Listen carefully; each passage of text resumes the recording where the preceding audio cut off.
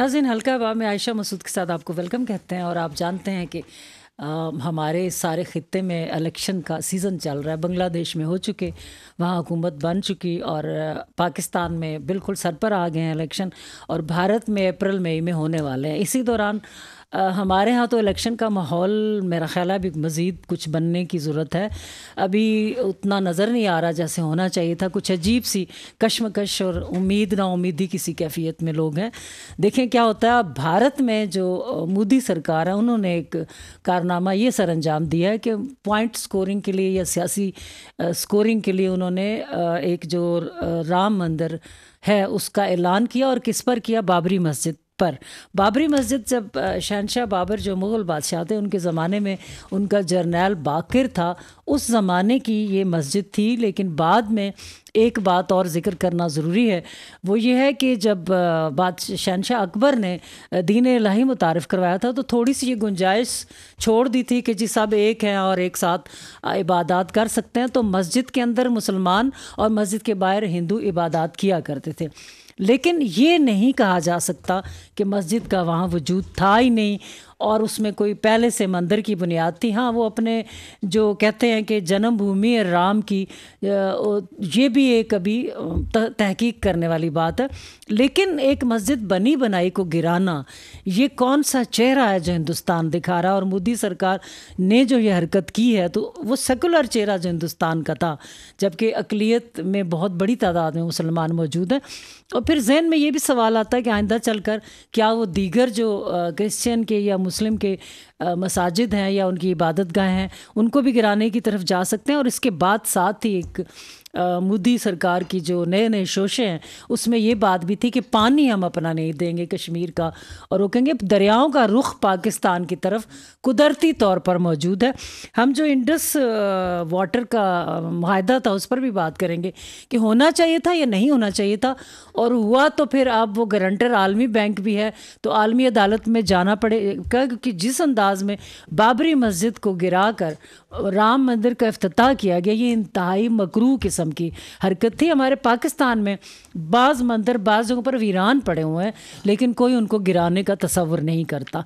तो ये जो उसने अपनी शक्ल दिखाई है और सेकुलर जो दुनिया के सामने चेहरा दिखाते हैं तो आइंदा चलकर वो ज़रूर पानी के भी मसाइल पैदा करेगा। मेरे साथ बड़े अहम मेहमान हैं इस टॉपिक के हवाले से। मेरे साथ जो पहली मेहमान है मैं हमेशा कहती हूँ कि ख़वातीन की मुझे तलाश रहती है कि कॉलम लिखें रिसर्च करें और हम उन्हें बुलाएँ और वो हमारे शो में बात करें। उज़मा गुल हमारे साथ है। उज़मा गुल वेलकम कहते हैं थैंक यू मेरे साथ जो दूसरे मेहमान हैं इंटरनेशनल माहिर बैन अवी अमूर बहुत सारी चीज़ों पर हम इन्हें बुलाते रहते हैं। डॉक्टर मनोवर हमारे साथ मौजूद डॉक्टर मनोवर आपको भी वेलकम कहते हैं। हमारे साथ डॉक्टर प्रोफेसर अकीला भी मौजूद हैं जो कि आई आर की एक्सपर्ट हैं और इन मौजूद पर उनकी भी खासी गिरफ्त है। अकीला आपको भी वेलकम कहते हैं। बहुत शुक्रिया। इलेक्शन को छोड़ देते हैं, फ़िलहाल क्लोजिंग के वक्त जाएँगे जो पाकिस्तान में माहौल नहीं बन रहा, बांग्लादेश में बन चुकी, भारत ने ये क्या किया? अभी अप्रैल, मई में इलेक्शन उनके होने हैं अनाउंस उससे पहले उन्होंने मोदी सरकार ने ये जो मंदिर, राम मंदिर, देखें हम लोग तो मसरूफ़ इतना है कि बहुत कम हमारी तरफ़ से आवाज़ उठाती नज़र आ रहे हैं कि ये तुमने क्या किया? ये नहीं होना चाहिए, क्योंकि पार्टियाँ अपने इलेक्शन और इन्हीं कामों में मसरूफ़ हैं।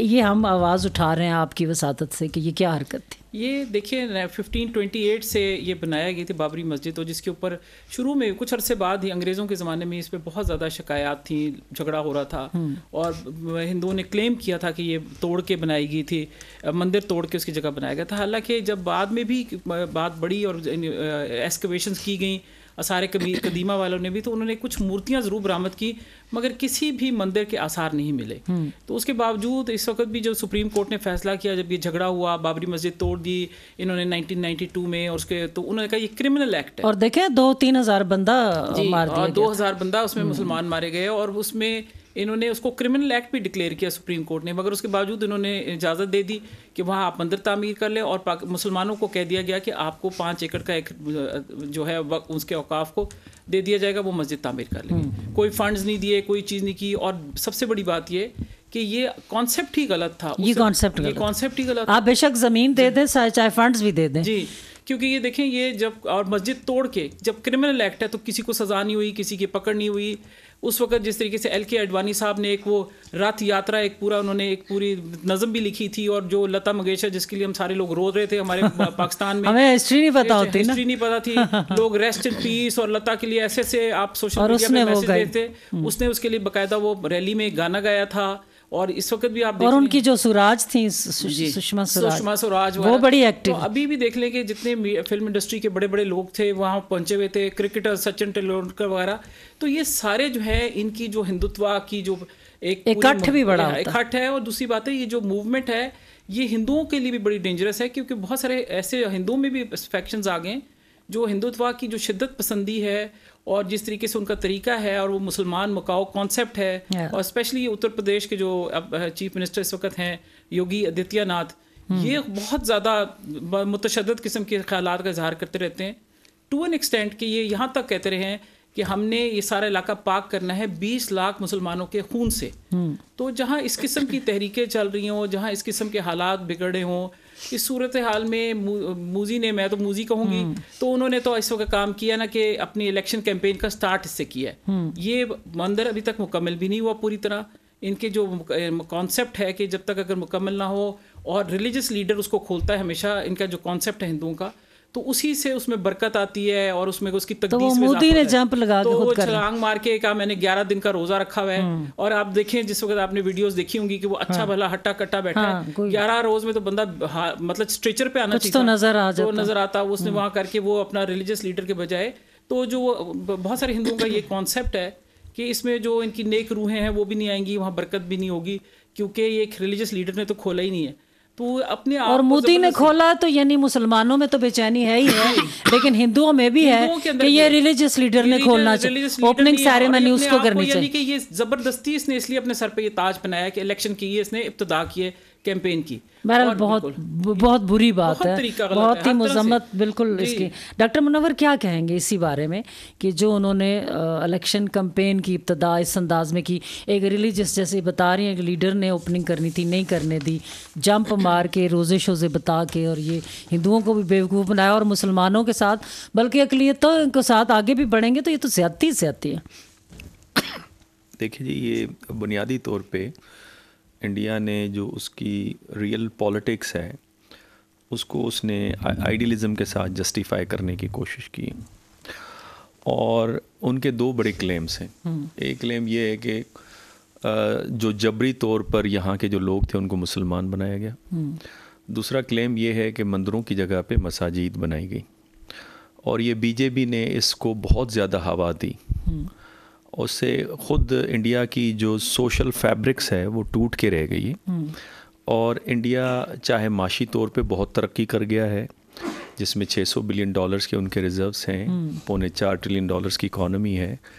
लेकिन उसके बावजूद जो माशरा है उस वो खड़ा होता है इकाई के ऊपर हम आहंगी के ऊपर वो बर्बाद हो गई। माशरा बर्बाद कर रहे हैं फॉरेन पॉलिसी भी बड़ी अच्छी रखी हुई है। जी फॉरेन पॉलिसी पे भी आए आएँगे। अभी आएँगे बिल्कुल। लेकिन इससे जो नुकसान हुआ है एक माशरती तौर पे आपकी मीशत बड़ी है माशरा बर्बाद हो गया है और माशरा जब बर्बाद हो जाए तो वो रियासत की इकाई आप इकाई उसको रख नहीं सकते।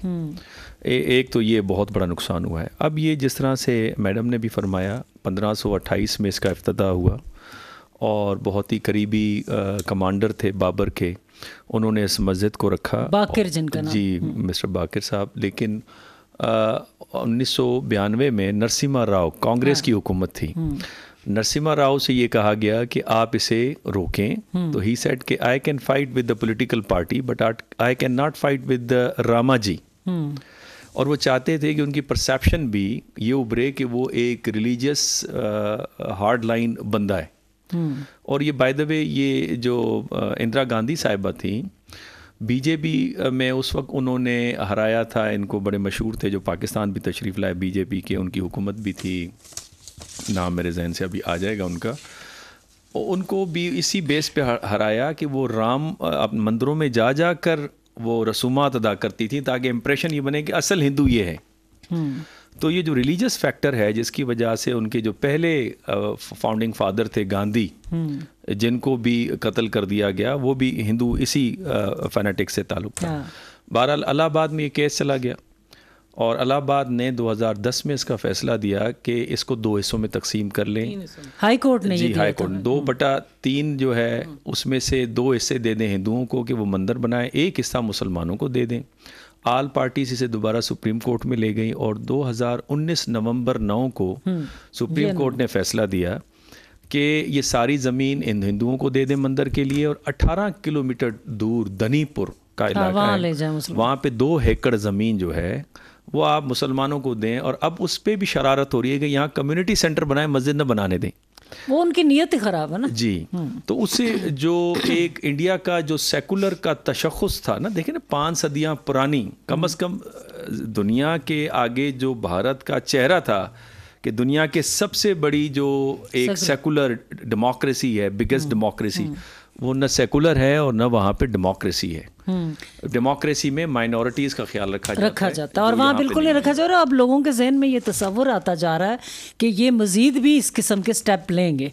मतलब वो मज़ीद मसाजिद जहाँ जहाँ हैं मुसलमान मज़ीद वो उस मामले में इनसिक्योर हो गए। कहीं और भी मस्जिद में अगर कहीं भी वो दावा कर देते हैं कि कोई भी चीज़ बरामद हुई है जी मंदिर था तो आप उसके क्या यानी जब इंसाफ के तकाजे पूरे नहीं हुए और उन्होंने सारा कुछ ख़त्म कर दिया तो आप लोगों के जहनों में ये आता ना कि ये बात बढ़ भी सकती है कहीं और भी वो चाहे तो ऐसा कर जुमला सिर्फ़ मैं कह दूँ अ, कि ये करेंगे आगे इसका तसलसल आपको नज़र आएगा पहली बात। दूसरी बात उसका अफ्ताह इन्होंने इस वक्त इसलिए किया ये होना अप्रैल में था। किया इसलिए कि इसको पॉलिटिकली कैपिटलाइज किया हाँ, जा सके। और इरादा ये था कि इसमें एक बम्बार खुदकुश हमला अवर हो जाए हाँ। और इल्ज़ाम पाकिस्तान पे धर लिया जाए। ये ईरान वाले एपिसोड के बाद हमने जो एक रिस्पॉन्ड किया उससे उससे हमने उनको असल में उनको इशारा दिया कि आप ऐसी हरकत मत कीजिएगा। हम्म, बिल्कुल सही।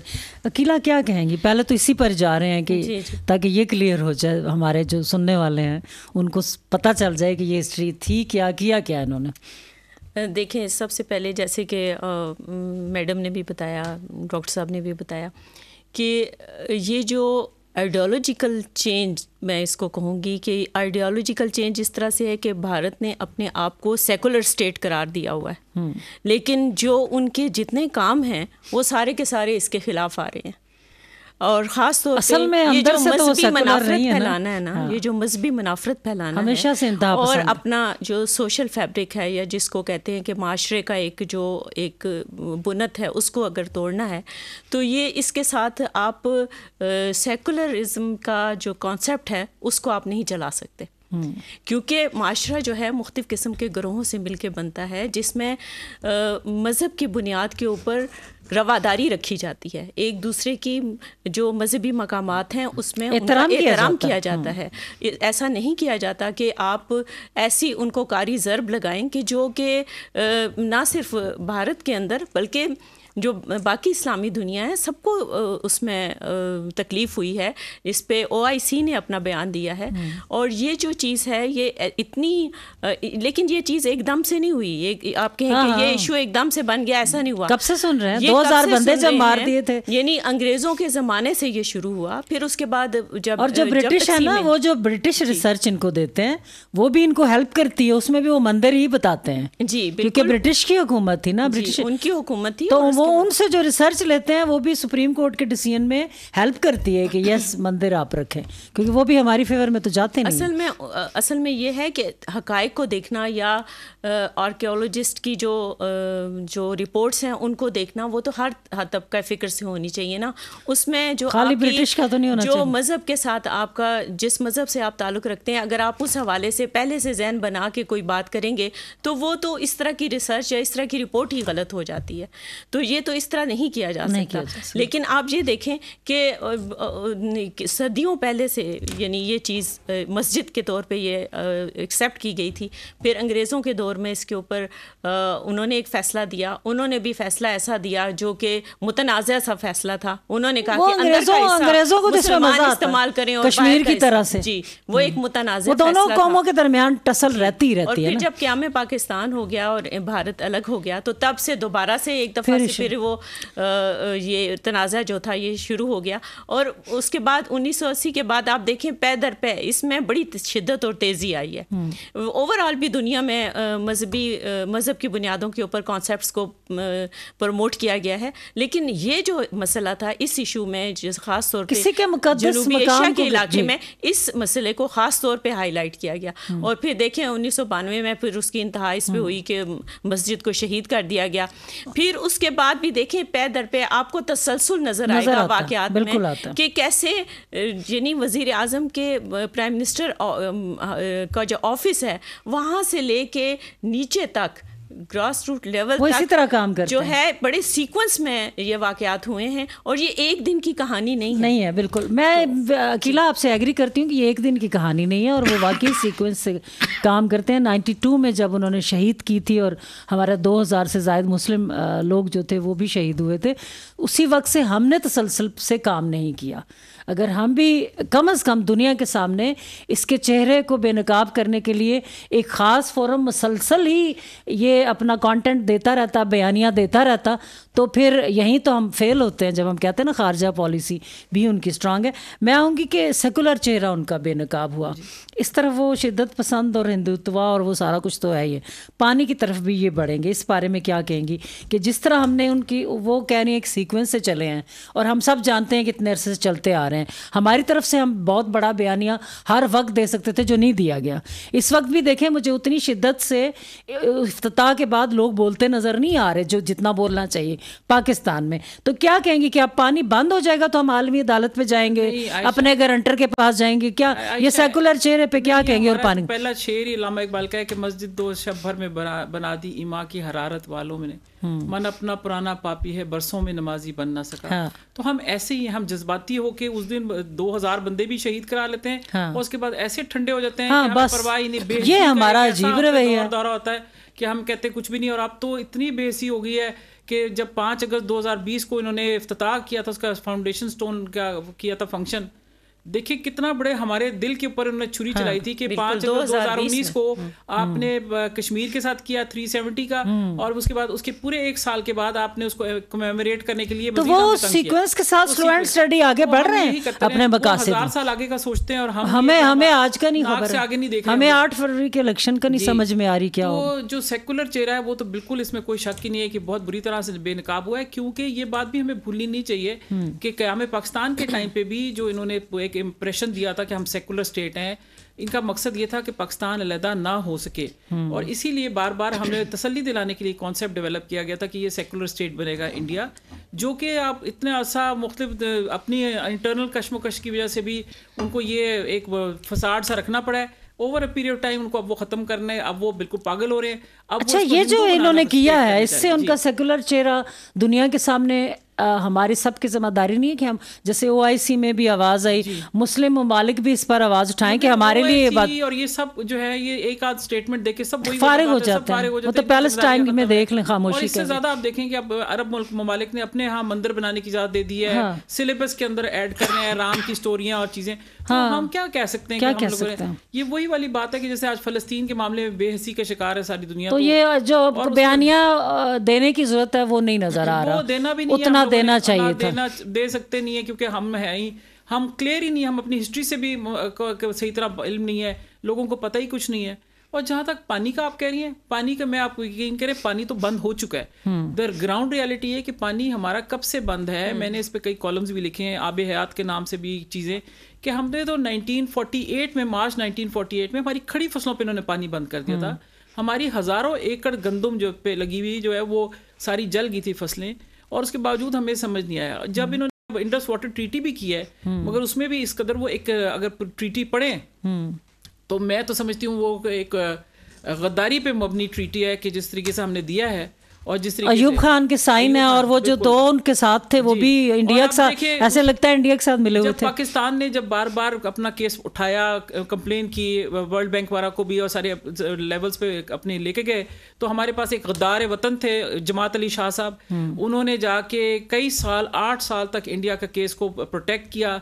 हर दफ़ा कहा कि कोई वायोलेशन नहीं हो रही और उन्होंने कहा और जिस वक्त बात खत्म अपनी आस्तीनों में साथ बैठे और फिर वो जमात अली शाह साहब बाद में कनाडा भागे अपनी फैमिली समेत और और मुल्क को कितना नुकसान जी और पहुँचा। मुशर्रफ साहब ने फिर कहा कमिटमेंट की कि मैं उसको वापस लाऊँगा इंटरपोल के ज़रिए आज तक बात खत्म हो गई नहीं हो। कह के तो हम वही चाह रहे जब हमारे लोग तरसेंगे पानी के लिए जब हमारी हम तब निकलेंगे, तब हम नहीं। निकलेंगे। तब भी नहीं निकलेंगे। मर जाएँगे तो ये चले जाएँगे बाहर। इन्होंने वहाँ बाहर अपने अपने असासे अपने बिज़नेस सब सेटल किए हुए ये हमें छोड़ के चले जाएँगे और हम पानी हाथों जो है जैसे रोही बनना गया ना पूरा पाकिस्तान रोही बन जाएगा।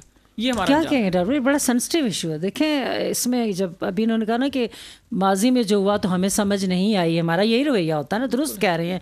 तो अभी भी अगर हमें समझ नहीं आई और दो साल बाद भी हमें समझ नहीं आई तो ये इंडस वाटर देख लें जमात अली शाह जो था उसका क्या किरदार था? और फिर बाद में हम उसका कोई सोल्यूशन ना कोई रिवर्स लगा सकते होते हैं। लेकिन इतना बड़ा नुकसान कर लेते हैं। क्या कहेंगे? मैं तो कहती हूँ इंडस वाटर माहा होना ही नहीं चाहिए था। देखिए वो तो अब एक इंटरनेशनल एग्रीमेंट है उसको आप रिवर्स तो नहीं कर सकते अलबत्त ये माहा गलत था इस पर बहुत सारी लिखी जा चुकी हैं जिस तरह मैडम उज़मा भी बता रही हैं कि उन्होंने भी अपने कॉलम्स में उसका ज़िक्र किया हम्म। लेकिन वो कहते हैं ना जैसी करनी वैसी भरनी तो भारत भी सुकून में नहीं है हम्म। चाइना ने डैम्स बनाने शुरू कर दी और स्पेशली जो सेवन सिस्टर्स की तरफ़ जो उनके दरिया जा रहे हैं उनको हम्म। पानी को रोकना शुरू कर दिया और मैं आपको सच्ची बात बताऊँ कि भारत की जो एक ही इनके पास एक बड़ा रैशनल किस्म का प्राइम मिनिस्टर था ए के गुजराल साहब। हम्म। उनकी पैदाइश भी पाकिस्तान के अंदर थी। हम्म। उन्होंने जो डॉक्ट्राइन दिया था वो ये कि जो भारत की तरक्की है वो पड़ोसी ममालिक का उनमें उसका स्टेक होना चाहिए। हम्म। और अगर नहीं देंगे तो भारत भारत तरक्की नहीं कर सकता। अब आप भारत को देख लिए जो एंटागोनिस्टिक पॉलिसीज़ हैं visa we all neighbouring states जिसमें आप नेपाल हाँ। आप मालदीव की आप हैसियत देखें ना पंद्रह लाख पता नहीं आठ लाख की टोटल आबादी है उसने कहा अपने यहाँ से अपनी फौजी निकालें। नेपाल ने नया नक्शा जारी कर दिया है। अगर इलेक्शंस में खालदा ज़िया साहिबा आ जाती बांग्लादेश के अंदर तो आप नक्शा को छोड़ देखती। तो भारत इस वक्त तनहा है ख़त्े के अंदर। लेकिन जो मैडम उज़मा साहब ने बात की साहिबा ने बात की वो बड़ी इंपॉर्टेंट है कि ये आपके जो रूलिंग लीड है प्रॉब्लम हम्म। इसके साथ है। आप और मेरे साथ नहीं है। प्रॉब्लम जो है आपकी जब तक आप लीड कैप्चरिंग को नहीं तोड़ेंगे जिनके बच्चे बाहर पढ़ते हैं अब देखिए मिसाल के तौर पे आप अपने फॉरेन पॉलिसी में कहते हैं हम ब्लॉक पॉलिटिक्स का हिस्सा नहीं बनेंगे हम्म। बिल्कुल ठीक है बैलेंस पॉलिसी रखेंगे बिल्कुल ठीक है रख पाएँगे हम्म। क्योंकि जो पॉलिसी मेकिंग कर रहे हैं emotionally they are attach with the west वो नहीं रख पाते तो नज़र आ रहा है एग्जैक्टली बच्चे हाँ। वहाँ पढ़ते हैं हम्म। उनके घर बच्चों के मुफादात होने चाहिए या आपको कंट्री देखे ना आपका नेपाल और ये खटमांडो जैसे लोग जो हैं वो आँखें दिखा देते हैं भारत को एग्जैक्टली exactly. हमने हमें, हमें हम, हमारे जो कुमरान हैं वो हॉस्टेज हैं एक्चुअली हमें समझना पड़ेगा उनके बिजनेसेस exactly. उनकी इन्वेस्टमेंट्स उनके बच्चे उनका सारा फ्यूचर वो वेस्ट के साथ लिंक्ड है तो दे आर हेल्ड हॉस्टेज हम कुछ कर ही नहीं तो हुक्मरानों को नहीं ना आना चाहिए बिज़नेस में। हुक्मरानी या बिजनेसमैन बने जनाब बहुत बड़े बने तो फिर हुक्मरानी का शौक तर्क करें ना कोई एक तरफ़ तो। साथ एक बड़ा हम्म। सख्त जुमला कहूँगा शायद आप लोग एग्री न करें। हम्म। ये जो वेस्टर्न मॉडल ऑफ़ डेमोक्रेसी है ना वो आपको सूट नहीं करती। मरूम हम्म। अब्दुल हमीद गुल साहब भी ये फरमाते थे। बिल्कुल ऐसे। गुल साहब कहते जी। ये डेमोक्रेसी नहीं चलेगी। डेमोक्रेसी वो चलेगी जो आपकी कल्चरल डेमोक्रेसी है जो कि मौजूद थी पंचायत जिरगा ओता की सूरत में। उसको इंस्टीट्यूशनलाइज करने की ज़रूरत थी देखिए ना डेमोक्रेसी इस्लाम में भी थी ये नहीं आपने मदारस इतने कायम कर दिए उनको जलसों में ले आते हैं तो आप इन इंस्टीट्यूशन सब कुछ हो सकता है अगर सऊदी अरब रिफॉर्म ला के सक्सेसफुल हो सकता है तो आप भी हो सकते हैं। रिफॉर्म्स लाएगा कौन? क्वेश्चन तो ये exactly, है वो तो सोचेंगे बैठेंगे थिंक टैंक बैठेंगे स्कॉलर्स बैठेंगे खुद इनके लोग एक्सपर्ट बैठेंगे। तो इस तरह वैसे इनके पास टाइम नहीं है। मैंने जितना देखा इनके पास चूँकि हमारे यहाँ हमें अगर कोई मौजू मिलता है तो आप देखें कि सारा टाइम पॉलिटिक्स के अलावा आप कोई तहकीक कोई रिसर्च कोई अक्ल तमीज़ की बात मैं निकाल के मुझे दिखा दें कि कहीं नज़र आती है। होश ही नहीं है सिर्फ़ सियासत थी हमारे यहाँ। अच्छा, इतनी डोमिनेट मैं यही नस्ल ये बात जो है ये बहुत ज़्यादा शिदत से कहती है। क्लासरूम्स में हमसे सवाल होता है कि अगर वेस्टर्न डेमोक्रेसी नहीं तो इस्लामिक डेमोक्रेसी का जो कॉन्सेप्ट है वो आप, आप कैसे इम्प्लीमेंट करेंगे? हम्म। इस पर मैंने मेरी जो स्टडी है उसके मुताबिक बड़ी ये अपीलिंग भी है और आम फहम बंदे को समझ आ जाए कि मैं कोई इसमें टर्मिनोलॉजीज यूज़ नहीं कर रही कोई हम्म। ऐसी ऐसी चीज़ नहीं है। देखें साहिबुर राय राय लोगों के ऊपर मुश्तमिल होनी चाहिए। अब साहिब राय कौन होता है? क्योंकि जिस ज़माने की हम बात करते हैं उस वक्त तो सहाबा कराम मौजूद थे जो कि साहिब राय थे। साहिब राय लोग अब भी हमारे यहाँ मौजूद हैं। वो इस तरह से कि जब आप कोई बिज़नेस शुरू करने लगते हैं तो आप किसी अंकल आंटी किसी जगह किसी मस्जिद में किसी पड़ोस में किसी फैमिली में किसी बड़े से आप मशवरा करते हैं। वो हम्म। बंदा साहिब राय है। ऐसे साहिब राय लोगों को आइडेंटिफाई करना सोसाइटी में कुछ भी मुश्किल नहीं तो जो मेरे जैसा बंदा साहब राय निकला जो गलत राय दे तो नहीं नहीं गलत तो नहीं। देखें तो majority तो वही है ना। गलत आप किसको कहते हैं? देखिए कुछ राय लोगों की पसंद के मुताबिक होती है कुछ पसंद के पसंद के मुताबिक। देखें तो ये उसको आपने जुमला अच्छा बोल दिया अकीला बात यह है कि इस वक्त राय चाहिए पसंद के मुताबिक। नहीं नहीं वो गलत है ना वो गलत ये है। जो मोदी कर रहे हैं, पसंद के मुताबिक ही जा रहा है ना, असूलों पे थोड़ी जा रहे हैं। वेस्टर्न डेमोक्रेसी है ना उसमें जैसे कहा जैसे मैडम निमी का अलामा इकबाल का है कि बंदों को गिना जाता है तोला नहीं जाता। तो ये बंदों को गिनने वाली डेमोक्रेसी है लेकिन अगर तोलने वाली डेमोक्रेसी हो जो कि इस्लामिक कॉन्सेप्ट है तो मेरा ख्याल है हमारे बहुत सारे मसाइल का जो हल है वो हमें मिल सकता है।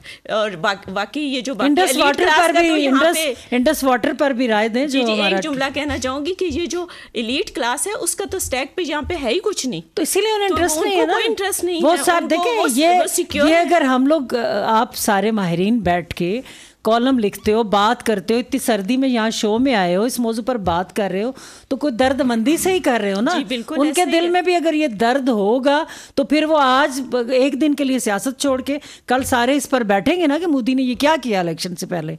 तो इस पर ज़्यादा आवाज़ उठेगी ना ज़्यादा एहतजाज जाएगा ना। तो वो तो होता नहीं है पैलेस्टाइन के मामले में चुप है राम मंदिर बन गया चुप है कश्मीर मुतनाज़ा ठंडा पड़ गया चुप है।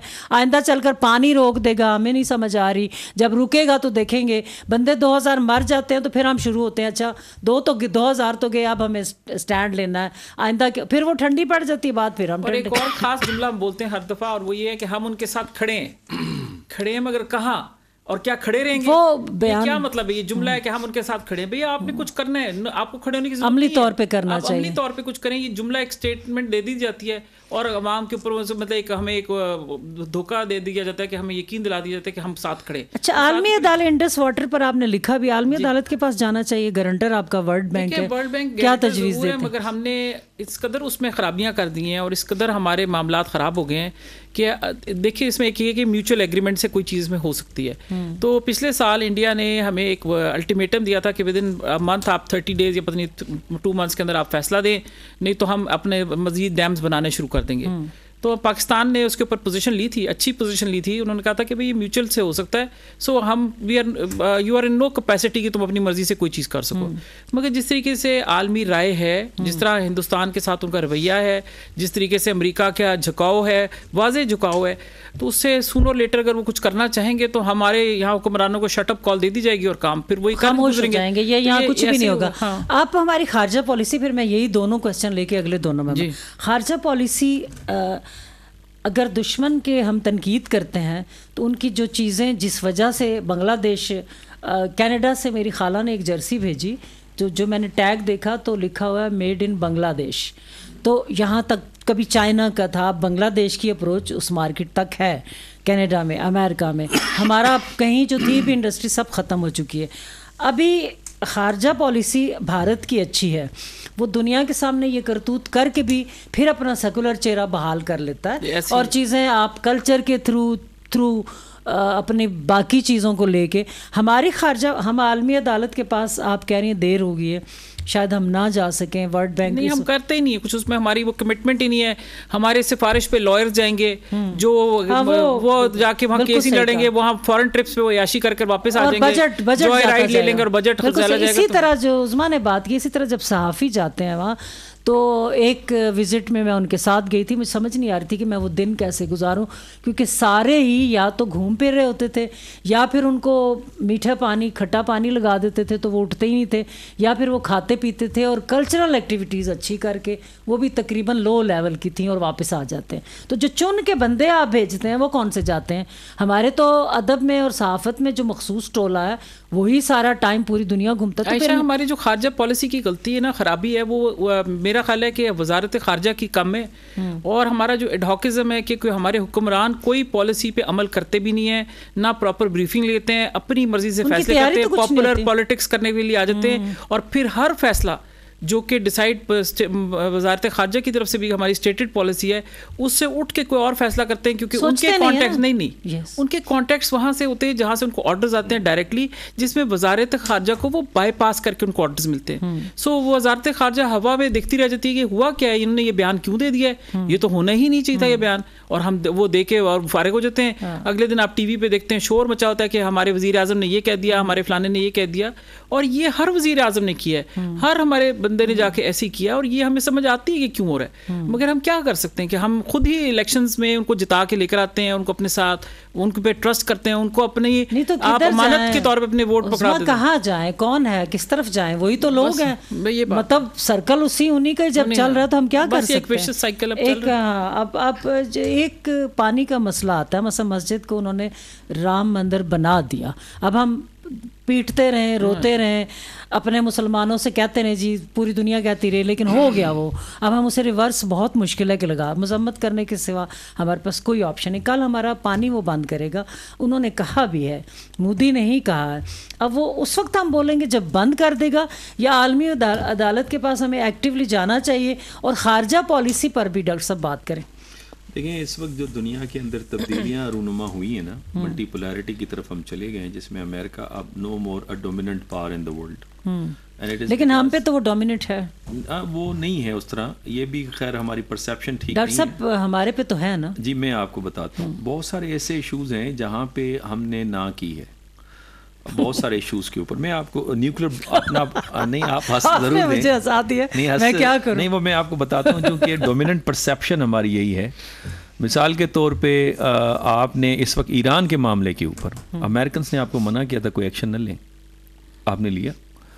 न्यूक्लियर प्रोग्राम के ऊपर आपने कंप्रोमाइज़ नहीं किया। देखें पाँच शख्सियात थी जिनका बड़ा किरदार था न्यूक्लियर उसको डेवलपमेंट को आगे ले जाने में। पाँचों को आपने उनको एक किस्म की सज़ा मिली। जुल्फी भुट्टे के साथ भुट्टो के साथ क्या हुआ जियाउल हक साहब के साथ हाँ, इबरत का निशान बनाया आपके जो फाउंडर थे खुद जिया साहब ने भुट्टो के लिए फैसला किया खुद भी गए डॉक्टर कदीर खान इवन नवाज़ शरीफ साहब उन्होंने हाँ। जब क्लिंटन ने मुझे याद है वो एंगेजिंग इंडिया किताब है टाल बोर्ड जो असिस्टेंट सेक्रेटरी थे साउथ एशिया के क्लिंटन एडमिनिस्ट्रेशन में उन्होंने कहा डेलीगेशन के साथ हम आ रहे थे नवाज़ शरीफ ने ट्रिप अप्रूव नहीं किया था हम्म। फिर कहीं और से अप्रूव हो गया था बहरहाल वो आ गए लेकिन प्रेशर सस्टेन किया फिर नवाज़ शरीफ साहब के साथ क्या हुआ हम्म। और यानी आप जिसको भी देखें फिर मोहतरमा आगे भी यही सिलसिला चला। अवाम exactly. ने भी बड़ा प्रेशर सस्टेन किया हमें भी पनिश कर रहे हैं। जी। हाँ। जी पनिश तो अवाम ने कुर्बानी दी है। अच्छा ये जो अभी मतलब बेचैनी है इसमें भी उनका तो हाथ है ना बीच में। लेकिन अब ये उसका ये कि चूँकि आपने प्रेशर को सस्टेन किया इसको हम कहते हैं स्पेशली सलाला इंसिडेंट के बाद आपकी पैटर्न क्लाइंट रिलेशनशिप से स्ट्रेंथ क्लाइंट रिलेशनशिप की तरफ़ गए जहाँ आप हर चीज़ पे हानि करते हम्म। दूसरा ये कि अब दुनिया तब्दील हो गई है। हम्म। मैं आपको एक छोटी सी मिसाल दूँ। आपने बांग्लादेश की अभी बात चल रही थी। बांग्लादेश की जो इंडस्ट्री का गारमेंट की जिसका आप ज़िक्र कर रही पाकिस्तान से उठ के गई।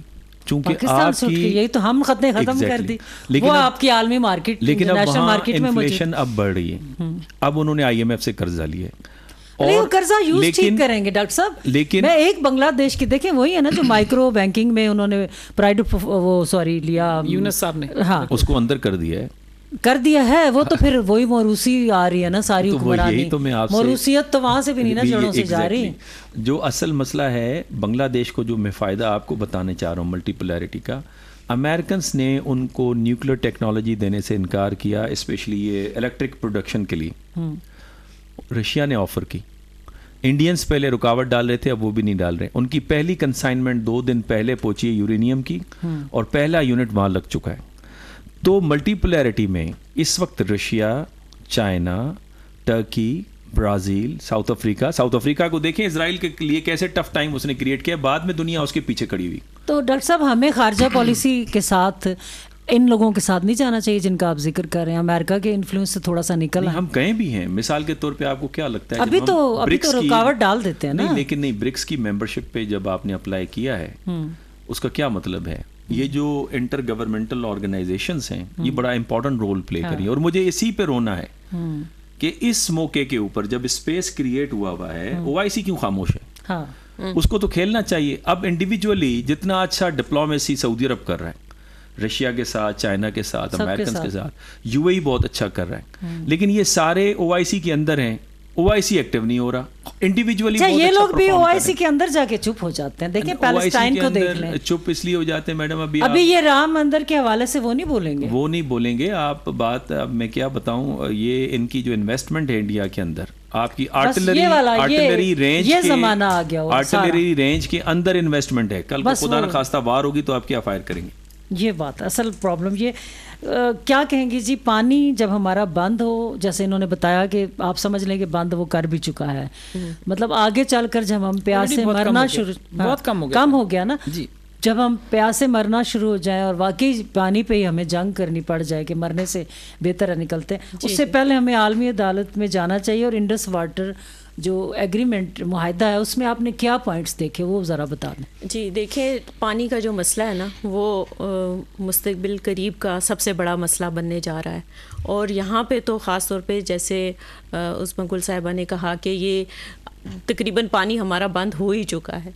लेकिन हमारे पास अभी कम पानी की बहुत कम मकदार आ रही है और जब हम कहते हैं ना कि हमारी शहरग है तो शहरग इसलिए कहते हैं ये मैं नौजवान नस्ल के लिए बता रही हूँ कि पाकिस्तान की जो इकॉनमी है वो एग्रो बेस्ड एग्रीकल्चर बेस्ड या ज़रात पे मुश्तमिल इकॉनमी है और इसके लिए पानी एक बड़ी ज़रूरी चीज़ है इसलिए कश्मीर को शहर तो इंडस्ट्री की तरफ़ हम चले जी लेकिन बात यह है कि जो आपका सवाल है कि ये देखें ये सारे का सारा जि, जितने भी हैं चाहे इस्लामी ममालिक हैं जो स्टेट सिस्टम आया है ना उसमें एक चीज़ और उसके साथ ही फिर जो आ, हमारे पास जो हमने दुनिया में इस वक्त माशी निज़ाम हम जिसको फॉलो कर रहे हैं उसमें है ही जी बिल्कुल उसी वो वो अपना फ़ायदा देखते हैं अपना नेशनल इंटरेस्ट देखते हैं। हम लोग आप स्टेट सिस्टम ने जो एक चीज़ दी है चाहे आप उसको कुछ कंट्रीज़ के हक में अच्छी है कुछ कंट्रीज़ के हक में बुरी दिया उन्होंने यही दिया है कि आप अपना नेशनल इंटरेस्ट जो है वो टॉप पे रखते हैं। बाद में आप दूसरे इंटरेस्ट देखते हैं।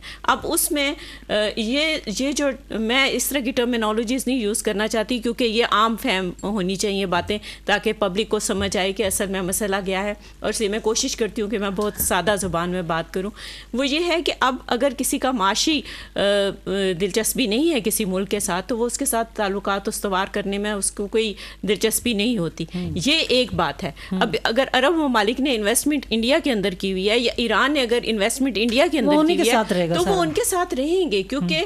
आप सिफारती बुनियादों पे कितनी देर सरवाइव करेंगे? ये भाईचारे और जज्बाती तो इस पे इस ये बातें जो है ये खाली खुली बातें हैं। हमें इन इन हकायक को समझना है। हमें अपनी माशी पॉलिसियों को ठीक करना है। हमें ऐसी मुखलिस क्यादत की और ऐसी मुखलिस टीमों की ज़रूरत है जो कि बिल्कुल संजीदा होकर मुल्क कौम की तरक्की के लिए ये तो काम तो बड़ी नेक ख्वाहिश है और जो एक इन्होंने तो हमारे की ख्वाहिश कर करके। एक यही कि पॉलिसीज़ का तसलसल लेकिन वो देखो एग्रीमेंट जो इंडस वाटर माहिदा वो खत्म तो नहीं हुआ हुआ ना? नहीं वो खत्म नहीं हुआ हाँ। लेकिन देखें अब हम उसको पलट नहीं सकते क्योंकि जब आप पलट नहीं सकते तो आगे क्या करना चाहिए? लेकिन आगे के लिए आप मनसूबा साजी कर सकते हैं पॉलिसी साजी कर सकते हैं उसके लिए तो दरवाजे खुले हैं वर्ल्ड बैंक भी तो हमारा गारंटर है ना? आलमी अदालत की तरफ़ जाना चाहिए। और अभी जाना। चाहिए ना बजाय देर हमेशा देर कर देता हूँ उसके लिए ना जो आप आलमी अदालत में जाने से पहले आपको अपना इन हाउस जो है वो ठीक करना पड़ेगा। आपको यहाँ तो से बहुत ज़रूरी है। जी इसको तो जब तक आप अपने घर के मामला ठीक नहीं करेंगे आप आलमी अदालत में बेशक चले। आप आपकी बात की वैल्यू नहीं कलभूषण की तरह वहाँ भी केस हम हार जाएँगे ये हमारा रेगुलर काम है। जब तक आप अपने अपने यहाँ तो पे लोगों को स्ट्रांग एक नैरेटिव लेके नहीं चलेंगे। आप वहाँ देखे इन्होंने भी देखे एंड में जब बात हम जाते हैं ना सारी डिस्कशन के बाद कि अब किस तरफ़ रुख हो रहा है सारी बातचीत का। माशी जी अब इन्होंने कहा जी मैशत एक इकोनॉमी बेस्ड रिलेशंस हैं मेन वही है आयशा वो बात ठीक है मगर हमारी इनकी बात बिल्कुल सही ये कह रही है कि जिसका इंटरेस्ट होगा वही हमारे साथ स्टैंड भी करेगा खड़ा भी रहेगा इस वक्त क्या मगर हमारे पास तो इवन सी पैक के लिए चाइना ने इतना हमारे साथ चीज़ किया हमने उनको भी डिच कर दिया हम्म। हमने सी पैक को गो स्लो कर दिया हमने और बहुत सारी चीज़ें तो बहुत सारी कंट्रीज़ ने आके हमारे साथ इन्वेस्ट भी किया है हम्म। मगर हमने उनको जब भी ऊपर से हुक्म आया ना अमेरिका का तो हमने उनको भी डिच कर दिया तो हमारी जो कमिटमेंट्स हैं ना एडवोकिज्म पे हैं और हम जो कहते हैं बात तो इसलिए तभी आपने सुना होगा हमेशा एक एक डू मोर का हमारा मंत्रा चलता रहता है। इसलिए कि आप कह के पता नहीं क्या क्या वादे कर कर आ जाते हैं कि हम्म। सब भी कुछ दे देंगे पाकिस्तान को प्लेट में डाल के आपके सामने पेश कर देंगे। जब अमलन ये नहीं कर पाते तो वो फिर उनको उठा के पटक देते हैं और नए लोगों को लाते हैं। तो ये जो हमारा इशू है वो ये है कि हम हमारे जो हुक्मरान हैं वो हमारी स्टेटेड पॉलिसी को फॉलो नहीं करते और इसकी सबसे बड़ी मिसाल कश्मीर के साथ है हम्म। आज मकबूजा कश्मीर में हमने उनके लिए एक स्टैंड भी नहीं लिया हमने कुछ भी नहीं किया हम खामोश हैं तो ये जो हमारा हम्म। तो हम उस मामले में काफ़ी पीछे चले पीछे। चले गए इसीलिए तो स्टेटेड पॉलिसी तो जिस तरह मोदी ने बाबरी मस्जिद को गिरा कर राम मंदिर आज बना दिया और आप लोगों की सारी गुफ्तगू से ये पता चला कि ये काम वो एक तसलसल से करता आ चला रहा था। था कश्मीर के मामले में बिल्कुल इसी तरह उन्होंने सारा कुछ एक तसलसल से आगे किया है। हम राम मंदिर बनाने का मरहला मुझे याद है स्टेप बाय स्टेप 2000 जब मरे थे एटी नाइन्टी टू तक के हालात हमारे सामने आते रहे हैं कि वो ये कर रहे हैं। लेकिन उसके बदले में हम उतना रिएक्शन या उतना स्टैंड नहीं ले सके। मेरे वालिद का उनकी डेथ के बाद मैंने देखा जब ये पाँच अगस्त 2019 का वाक़ हुआ कि उन्होंने 1989 में एक कॉलम लिखा था जिस पे जिसका टाइटल था कि दफ़ा 370 बीजेपी के तर्कश में सबसे जहरीला तीर। 1989 का लिखा हुआ कॉलम था। जब वो वॉर्न कर रहे हैं हम बता रहे हैं मगर हमारे किसी ने बॉदर नहीं किया और एक दिन हम सो के उठे तो पता लगा जी पाँच वो वाक्य हो गया और पूरा उन्होंने उठा के उसको यूनियन टेरिटरी का हिस्सा बना लिया और ख़त्म हो गया मकबूजा कश्मीर का। उन्होंने मक्कू ही ठप दिया। तो ये बात बड़ी ज़रूरी है कि हमें समझ आए कि हमारी जो स्टेटेड पॉलिसी थोड़ा है सा आपको नहीं लगता कि हम इन चीज़ों को एड्रेस देर से करते हैं जब वो हमारे नहीं करते ही नहीं हम। हमारे हुक्मरान जो हैं वो जो हमारी गवर्नमेंट की स्टेटेड पॉलिसी है उसको वायलेट करते हैं। एडहॉक अपनी मर्ज़ी के फैसले करते हैं या किसी की मर्ज़ी पे फैसले करते हैं। डॉक्टर साहब ये जो। बता रहे हैं इशू इस पर क्या राय देंगे? जी हमारे हुक्मरानों का मतलब हम तो इलाज नहीं कर सकते। नहीं, वो तो हमने पहले ही बात कर ली ना एलीट कैप्चरिंग का शिकार है पाकिस्तान, इसमें तो कोई शक की बात नहीं तो ये जो माशी, अब मैं क्वेश्चन फिर ये है, अगर वो सेम माशी दिलचस्पी होगी तो ताल्लुक आगे बढ़ेंगे और हमारे साथ लोग बैठेंगे। हमारी मैशत का जो हाल है, हम हमेशा कहते हैं कि माशी इस्तेकाम, सियासी इस्तेकाम के साथ जुड़ा हुआ है। सियासी इस्तेकाम ना पिछले कई अरसे से है आइंदा का भी हमें कुछ समझ अगर खिचड़ी हुकूमत मखलूत बनती है तो भी सियासी इस्तेकाम नहीं आएगा। डॉक्टर साहब फिर माशी इस्तेकाम कैसे आएगा? क्या होगा इस मुल्क का? अगेन आई वुड से देखें दो ही चीज़ें हो सकती है ना। या रियासत ताकतवर होगी या रियासत में हम्म। अफराद यहाँ ताकतवर है ना? हाँ या फिर इलीट्स आपके ताकतवर लिहाजा वो अपने खजाने भर के बाहर जहाँ उन्होंने जमा करने वो कर लेंगे। हम्म। अरबों और खरबों में उनकी दौलतें है। और रियासत गरीब से गरीब है। होती जा रही है तो हूँ ठीक है ना? दोनों चीज़ें हैं। आप अगर आप भारत को देखें तो भारत में अब उलट, हो रहा है। किसी वक्त में बहुत ज़्यादा गुर्बत थी। अब उसकी आवाम खुशहाल हो रही है। और हम्म। साथ साथ उन्होंने वो फ़ेज़ गुजारा और उनके हुक्मरान करप्ट नहीं हुए। नाइन्टीज में रिफॉर्म्स लेकर आए थे। हाँ, रिफॉर्म्स हाँ। के मनमोहन सिंह के रिफॉर्म्स के बाद ही हुआ था। पाकिस्तान में भी रिफॉर्म्स की ज़रूरत है। पाकिस्तान का एक जो बड़ा सीरियस मसला है वो रेड टैपिज्म का भी है। मिसाल के तौर पे चाइना में हमारी जो पिछली हुकूमत थी वो एक डील करके आई। और बाद में चाइनीज़ ने रबता किया जी वो फैसले जो हुए थे वहाँ पे साल गुजर गया उस पर अमल ही नहीं हो रहा। वो पता चला कि फ़ाइल ही गुम है। तो आपकी जो ब्रोक्रेसी है जिनको वर्ल्ड व्यू वो बाहर वाले अपना एक्सपोज कर देते हैं ट्रेनिंग के ज़रिए से स्कॉलरशिप्स के ज़रिए से नेशनैलिटी के ज़रिए से छोटी छोटी चीज़ों पर बिक जाते हैं। एक तो वो प्रॉब्लम है। दूसरी यहाँ बात चली international morality versus real politics interest based politics ठीक है ये बात। वाशिंगटन ने अपनी फेयरवेल स्पीच में कहा था कि there is no permanent enemy there is no permanent friend only interest is permanent लेकिन इंटरनेशनल मोरालिटी अखलाकियात बैन अवी अखलाकियात अकदार को आप इग्नोर नहीं कर सकते। आप अब फ़लस्तीन के मसले पे देखिए। हुकूमतें एक तरफ़ हैं अवाम दूसरी तरफ़ है। और ये अवाम का प्रेशर है कि जो बाइडन इलेक्शन नहीं जीतने जा रहा। प्रेसिडेंट ट्रंप बारह अच्छा पॉइंट्स आगे हैं। ना डॉक्टर साहब कि अवाम का प्रेशर इंपॉर्टेंट होता है। बिल्कुल इंपॉर्टेंट है। इसको तो आप नहीं कर सकते ना। देखिए इनकलाब दुनिया में क्यों आए? बड़ी बड़ी ताकतवर शहनशाहियत हमारे पड़ोस में ईरान के साथ क्या हुआ था? आपको याद है रजा शाह पहलवी का? शाह कितना स्ट्रांग Exactly. कितना मज़बूत। Exactly. और अमेरिका का दोस्त और सारी पॉलिसीज़ और जाबिर हुक्मरान जो है ना वो उसका एंड बड़ा ख़राब होता है। अच्छा तीसरी मैं आपको बात बताऊँ जहाँ तक कश्मीर का मामला है। मैं कश्मीर के बारे में हमेशा कहता हूँ देखें दो 2.3 मिलियन अगर गजा के लोग आतिश फिशा बन के फट सकते हैं और इसराइल ने पहली दफ़ा अपनी तारीख में शिकस्त खाई और बुरी शिकस्त खाई। पहली मरतबा उसकी सर्वाइवल का इशू बनाए।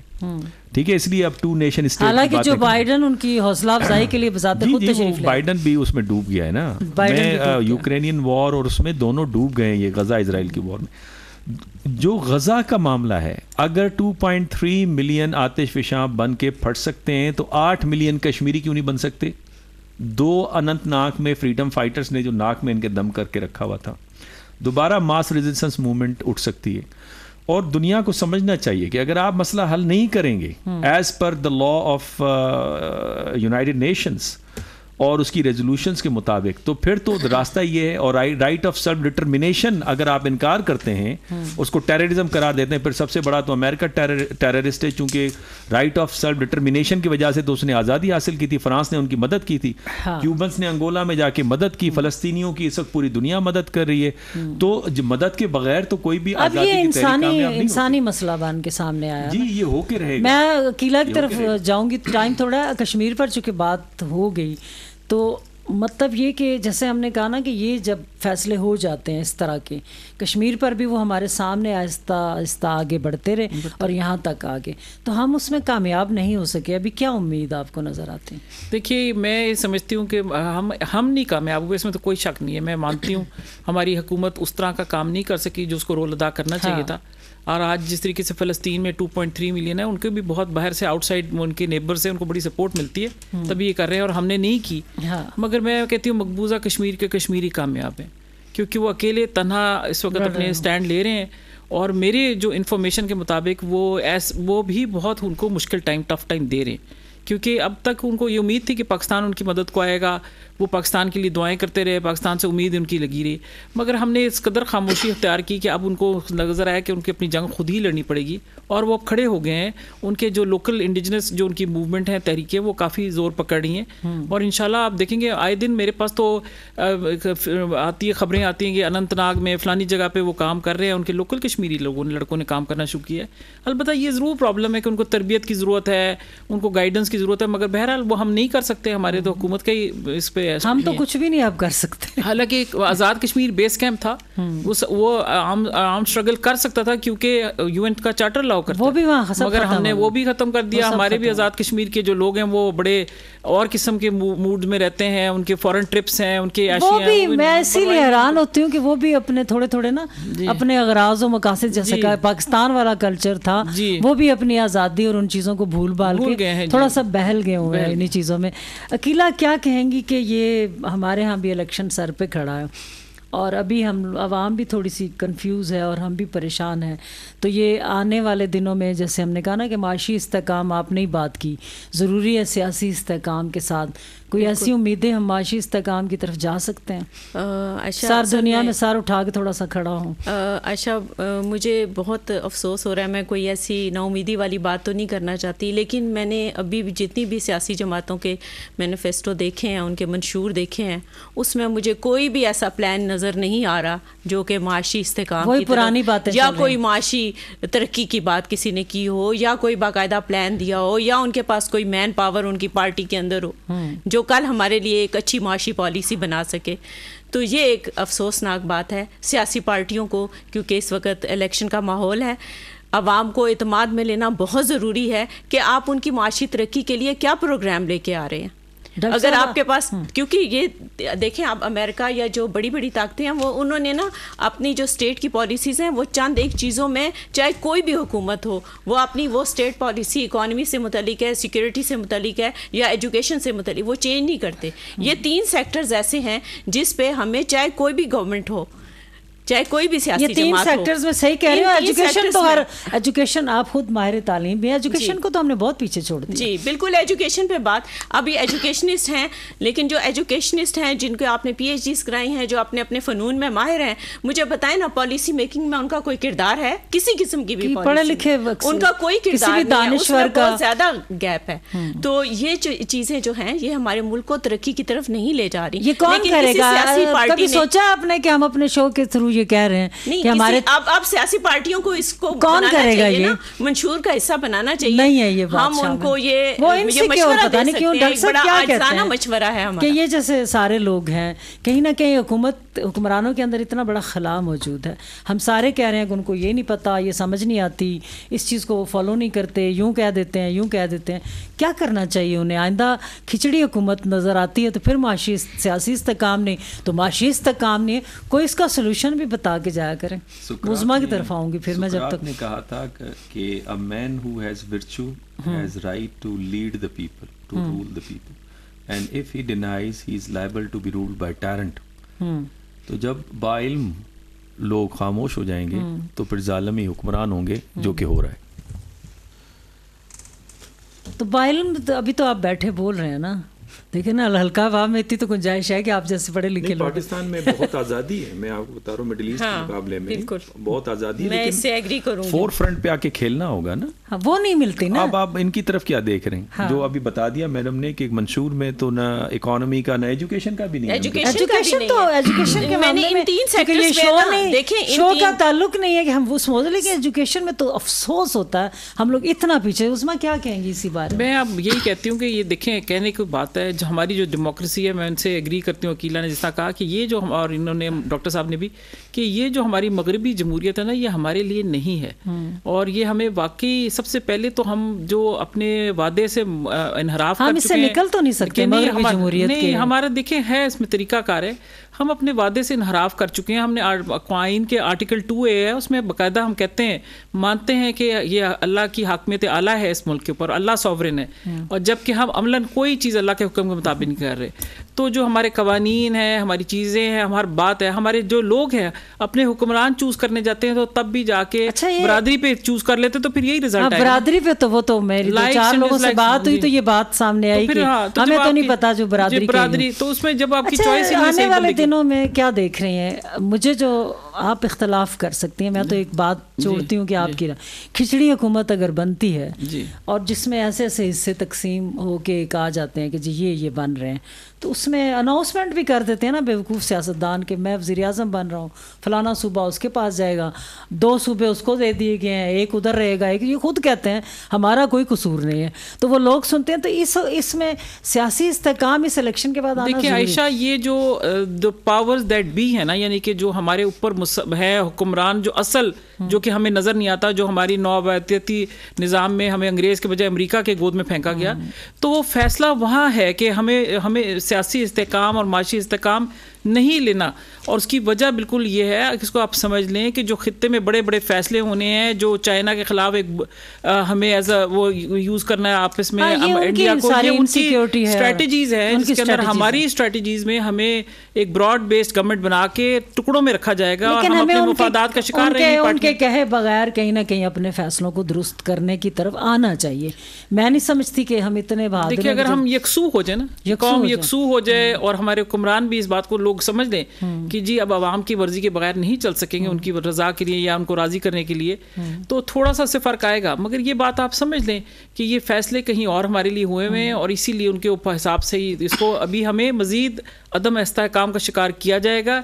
क्योंकि चाइना के खिलाफ हमें यूज़ करना है। हाँ चाइना के खिलाफ इसमें इसमें ये ज़ाती मफादात जो हैं कि ये जो छोटी छोटी चीज़ों पे छोटे छोटे यानी वीज़े पे खुश हो गया या वो कोई बच्चे वो जब तक ज़ाती मफादात से बालातर होके हाँ। नहीं सोचेंगे जो पावर में लोग आना चाह रहे हैं तब तक ये फैसले जो हैं इन पे अमल दरामद करना बहुत मुश्किल है। ये ज़ाती मफादात से बालातर होके सोचना लेकिन ये हमारी ख्वाहिश हो सकती जी है ये ख्वाहिश है लेकिन हमें ख्वाहिश का इजहार करने का अगर मौका मिला है तो तो, ज़रूर करनी पहुंचाएँ तो सही कि देखिए हम कोई घड़ी सोच रहे फिर जैसे घड़ी डॉक्टर साहब ने की कहा है कि जब मेजोरिटी का जब एक इकट्ठी हो जाती है अगर जैसे इन्होंने कहा कि 2.3 मिलियन का अगर ये ब्लास्ट हाँ। हो सकता है तो फिर यहाँ तो करोड़ों लोग हैं तो फिर ये मेजोरिटी के ये जो अच्छा है है। उनकी उनकी राय का एहतराम करना चाहिए और उनके एहसास आपने करना नहीं राय दी कि इलेक्शन के नतज में अगर ऐसा होता तो क्या होगा? एक मुस्तकम हुकूमत किस तरह आएगी? मैं तो ये समझता हूँ माजरत। टाइम बहुत थोड़ा तो मैं सिर्फ़ ये समझता हूँ कि इलेक्शन से आपके पास स्टेबिलिटी का आना बहुत मुश्किल है। हम्म, मैं इस बात पे मैं, बस- मुझे नज़र आ रहा है। हम्म, उसमें वजह यह है कि जो ट्रू रिप्रेजेंटेशन है वो यहाँ पे नहीं होगी। और जो आपकी इकोनॉमिक इस वक्त कंडीशन है हालाँकि आपके जो एक्सटर्नल जो आपकी इन्वायरमेंट है वो आपकी बहुत फेवरेबल है डिप्लोमेसी के लिए। हम्म। आपके पास बहुत अपॉर्चुनिटीज़ अपॉर्चुनिटीज़ हूँ लेकिन जुमला मुकम्मल बस इंटरनली आपको जब तक ट्रू रिप्रेजेंटेशन नहीं आएगी जब तक मुश्किल है सारा काम। बिल्कुल। नाजरीन, बात हो रही थी कि इलेक्शन का ज़माना चला इधर और अब इंडिया की तरफ़ अप्रैल, मई में जाएगा और उससे पहले मोदी सरकार ने जो हरकत की कि राम मंदिर बना दिया, बाबरी मस्जिद को गिरा गिरा कर जिसमें उनका सेकुलर चेहरा भी बेनकाब हुआ, जितना बेनकाब हुआ है, उस कदर हमें ज़्यादा बात करनी चाहिए ताकि आलमी सतह पर ये पता चले कि वो आइंदा भी इस किस्म के मजमूम इरादे लेकर आगे बढ़ सकता है, जैसा कि उसने कश्मीर का भी ज़िक्र हुआ। उसमें कि खारजा पॉलिसी की तरफ़ ध्यान देने की ज़रूरत है और इंडस वाटर का जो माहदा है, उस पर देखने की ज़रूरत है। आलमी अदालत की तरफ़ जाएँ, आपका गारंटर है वर्ल्ड बैंक उसकी तरफ़ जाएँ। तो ये चीज़ों को बिफोर टाइम देखने की ज़रूरत है। सियासत सियासत तो चल ही रही है, साफ़ ज़रा देखते हैं आगे क्या होता है। रिफॉर्म्स जब बनती हैं हुकूमतें तो रिफॉर्म्स करने की ज़रूरत है। तो एक बात बड़ी अच्छी की गई कि आवाम जो है, उनका प्रेशर और आवाम की ताकत से टोटली इनकार नहीं किया जा सकता। और दूसरा ये कि माशरा रियासत की इकाई है। सो माशरा जितना मज़बूत साफ़ सुथरा और अच्छा होगा तो रियासत की इकाई भी मज़बूत होगी। मैं बहुत शुक्रगुजार हूँ उज़मा गुल डॉक्टर मुनवर अकील आसिफ आशा मसूद को। इजाज़त दीजिए, अल्लाह हाफ़िज़।